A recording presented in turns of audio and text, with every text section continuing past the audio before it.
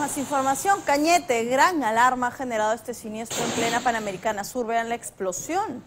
Un cortocircuito ocasionó que este vehículo, era una van, ¿no? terminara envuelta en llamas rápidamente y ahí se produce el momento de la explosión del tanque de gas. En el kilómetro 80 de la Panamericana Sur, a la altura del distrito de San Antonio. Llegó la policía y los bomberos para controlar la emergencia que solo ha dejado daños materiales.